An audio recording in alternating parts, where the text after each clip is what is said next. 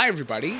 The Adani Group is one of the most powerful business houses in the country. one of the country's largest business empires. Adani Group. Adani Group companies. Adani Group's market capitalization has jumped over 76,000 crores. And more importantly, the Adani Group has been a major contributor to the economy of India because they have transformed the way Indian ports operate and compete in the international market. Whenever he speaks about his group, he always says that his conglomerate's goals are aligned to India's goals. By 2030, what we are targeting to do is to be uh, largest port company globally and also from an India perspective to be the largest transport utility. I anticipate that within the next decade, India will start adding a trillion dollars to its GDP every 12 to 18 months.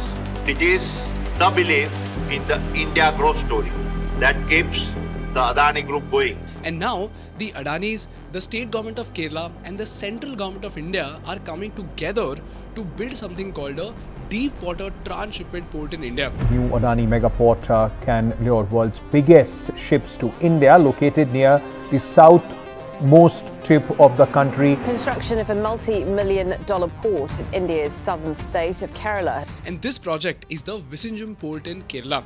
Vizhinjam Port will emerge as the largest private port in Kerala and will be a huge revenue contributor to the state.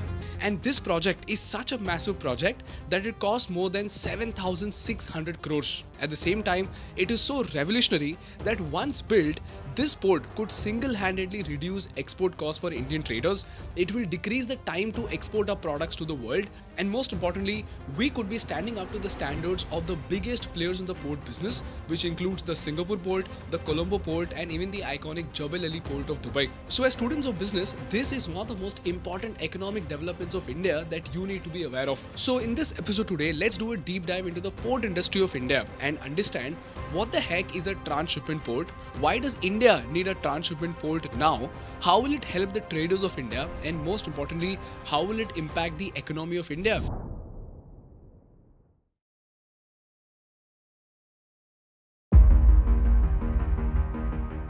So as usual, let's start with the basics and first try and understand what exactly is a transshipment port and how is it different from a normal port. So let's say a trader from Germany requires 2000 electric motors from a trader in Mumbai. So the trader in Mumbai approaches a shipping company and this shipping company offers him two options. The first option is a direct service whereby the motors will be shipped in a medium sized vessel from Mumbai to Germany via Suez Canal. Now this ship only stops for refueling at multiple stops like the Jebel Ali port and the port of Gibraltar. This is called as the direct service option.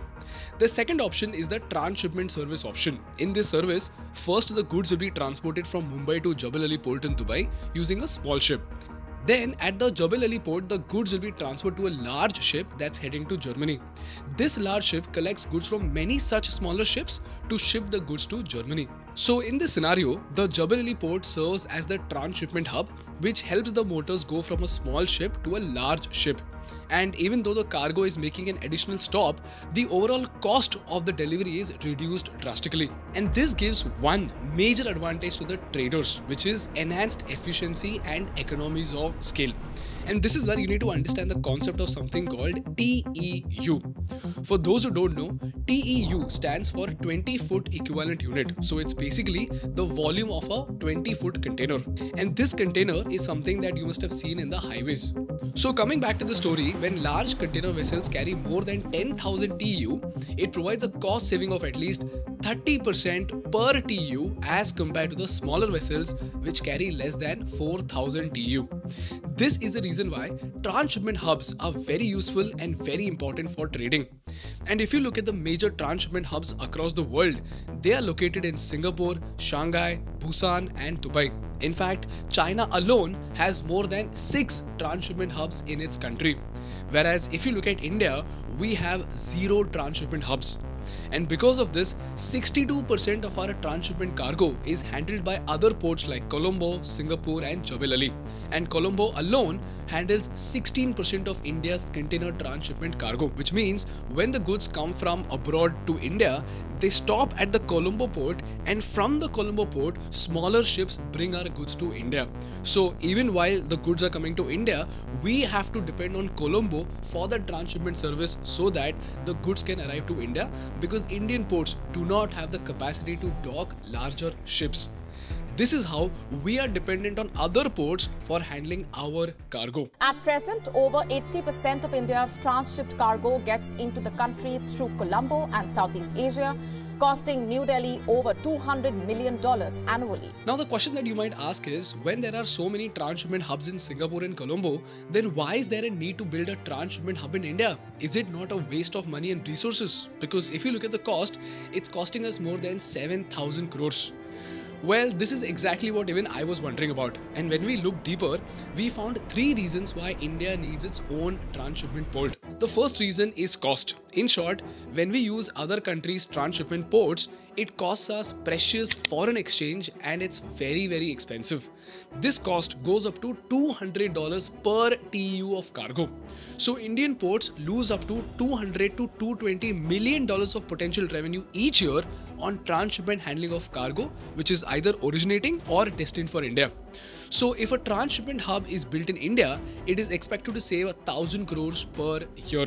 Secondly, instead of depending on other countries for our transshipment service, we can actually start giving out these transshipment services to other countries, eventually making dollars instead of paying in dollars. And lastly, if there is a diplomatic tension with a country like Sri Lanka or Singapore, India's trade will be in danger.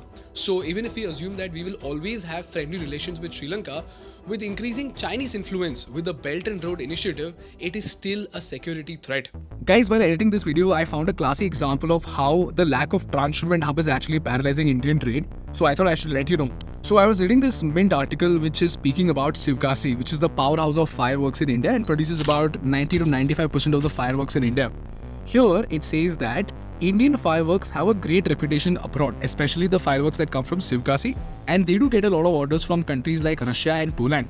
But the catch over here is that these shipments cannot be directly shipped to Russia and Poland and they have to be routed via Colombo because we do not have ports which can berth large ships. So we have to use smaller ships, we have to send those goods to Colombo and from there onwards a larger ship takes it to these markets. But the sad fact of all is that these large ships are Chinese ships and they refuse to take up Indian fireworks cargo. Why? Because they have a 45,000 crore market. So, in spite of having huge opportunities in the international market, we are not able to tap into these opportunities because we do not have a transshipment hub. And the fun fact is that China has a 45,000 crore export market for fireworks. So, even if we are able to scrape out 15% of the market for ourselves, we will be able to double the size of our fireworks industry.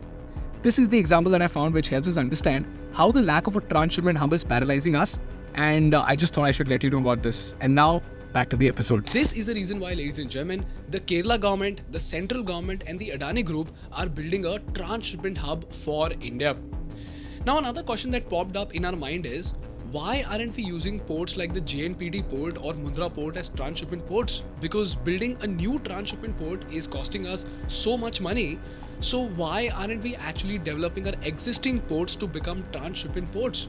So what exactly is so special about this Vizhinjam port that we are specifically developing a transshipment infrastructure for this particular port? Well, as it turns out, there are two very unique features of the Vizhinjam port that makes it ideal to be India's transshipment hub. Now, if you watched our Maldives episode, you already know how sea lines of communication are the important highways in the ocean and the most important sea lines of communication in the world, which connect east and west, pass below South India. And if you look at the location of this port, it's just 10 nautical miles away from the international shipping route, which connects Europe, the Persian Gulf, and the Far East and accounts for 30% of the world's trade.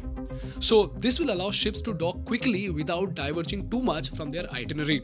So this way, Vizhinjam has the perfect potential to compete with leading global transshipment ports like Colombo, Singapore and the Jebel Ali port. So this way, Vizhinjam has the perfect potential to compete with the Colombo port.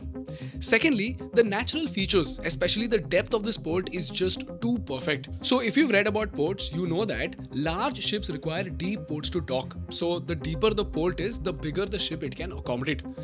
Now the problem with Indian ports is that we do not have enough deep water ports. So while large vessels range from 14,000 to 18,000 TEU, if you look at Chennai, it can only handle a maximum of 5,000 TEU of ships. Kochi can handle only 4,500 TEU, Mundra can handle 8,000 TEU, and JNPT Mumbai can only handle 6,500 TEU of ships. And to make matters worse, in the next 10 years, the average size of ships will be around 12,000 to 15,000 TEUs. And today, it stands at only 6,000 to 8,000 TEU. So if we don't upgrade our ports, our ports won't be useful at all. So Vizhinjam is perfect for some of the world's largest ships because it has a natural waterway that can be expanded to 24 meters below the sea. But until now, large ships have avoided India and have docked in Colombo, Dubai, and Singapore because of their depth and their facilities. But now, Vizhinjam can handle 20,000 to 24,000 TEU ships, with ships as long as 400 meters in length. And this makes it the only port in India that can handle such large vessels. This is the reason why Vizhinjam port is perfect to become a transshipment hub for India. And lastly, there is no littoral sedimentation in this port. For those who don't know, littoral sedimentation is the process of sediment deposition or erosion which occurs along the shore. So once these sediments settle down, they have to be dredged out to make these ports usable for the ships. And this process of dredging is such an important cost factor that if you look at Mumbai, the cost of dredging the harbour has shot up by 154% in the last decade. So as this cost increases, the cost of maintenance of this port also increases by a large extent. And if you look at the annual dredging cost of the Mundra port, it is 450 crores. And the annual dredging cost of the Vallarpadam port in Kerala is 110 crores. But if you look at the Vizhinjam port, this sedimentation is very less in this port. So again, the dredging requirements are low, eventually leading to less cost of maintenance. These are the reasons why the Vizhinjam port is the best place to build a transshipment port in India. So now the most exciting question of all is, if this port is built in India, then how will it affect the Indian economy? Well, firstly, it is estimated that once this port is fully operational by 2025, it will provide 15,000 jobs.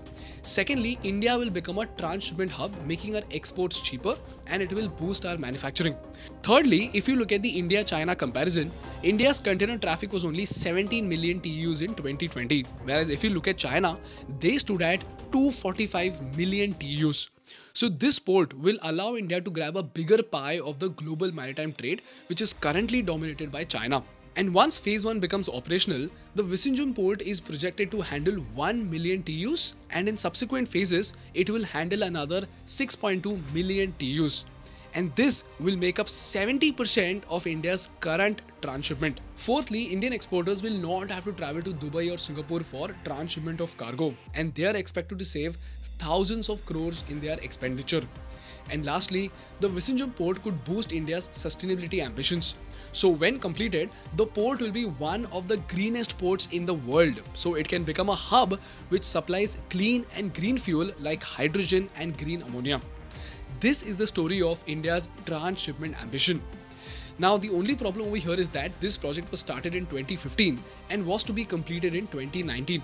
But due to COVID and the Russia Ukraine war, its completion has been postponed. And as we saw from the highway case study, this delay in infrastructure project costs us both in terms of higher material cost as well as economic output. So now what remains to be seen is how will the government fast track the completion of this port and strengthen the trade pillar of India.